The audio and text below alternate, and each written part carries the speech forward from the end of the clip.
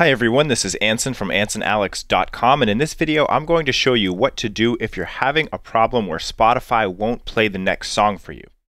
So here I am in Spotify and there's a few reasons this may be happening, but first of all I want to check and make sure that you have autoplay enabled.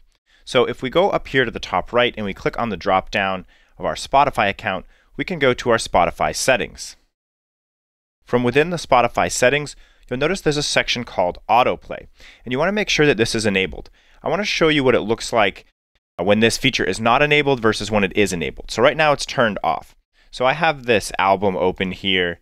And if I go to the very last song and I just play it, and then I go to the end of the song, when it finishes with autoplay off, you'll notice that it just kind of goes back to the first song in the album, but it's not even playing it. It just, you know, reset itself and it stopped playing. But if we go into our settings,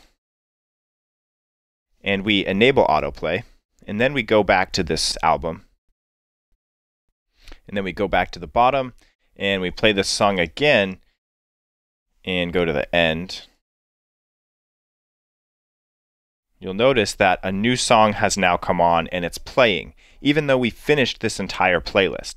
So if you have autoplay off, it should still go through this playlist, uh, but when it gets to the end, it's not going to continue and play something similar, but with autoplay on, it does. Now, that's the most simple solution. I think that will hopefully fix it for a lot of you. If that doesn't work, we want to make sure that our Spotify is updated. So on Windows, you can go up here to this name drop down, and it should have an option here to update if there's an update available. And on Mac, we're going to go over here to the Spotify menu, and we're going to click on About Spotify. You'll notice that it says that I have a new version of Spotify available and I can click here to download it. So you might want to update your version of Spotify uh, and see if that resolves the issue. Now, I know some of you would like to be able to turn off automatic updates for Spotify, but that actually isn't a feature built into the desktop version of Spotify. There are some command line ways you can do it. It's a little different on Mac and Windows by deleting the updates folder, but I don't feel comfortable enough with that method to put that in this video, but you can try and Google that if that's something you're looking for so that you can keep your current version of Spotify and not have to worry about a future version of Spotify breaking something.